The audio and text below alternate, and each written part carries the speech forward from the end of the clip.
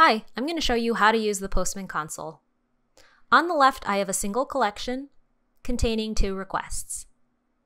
I'm going to load up that first request. It's a GET request to this endpoint here, and I see a green dot next to the pre-request script tab, so I'm going to look under it. I see some console functions, and I'm going to go ahead and hit send. Normally, after I send a request in Postman, I come to the bottom and take a look at the response body and I can inspect what comes back from the server. But where are those console statements? Go to the bottom left, expand the console from the bottom.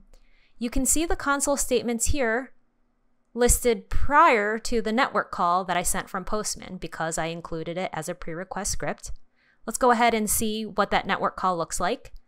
I have some additional information about the request that was sent from Postman, as well as the response that came back from the server. So a lot more information that's going to help me debug a little bit faster, a lot more visibility. If you want to try it out at home, I'll drop a link to this sample collection in the description.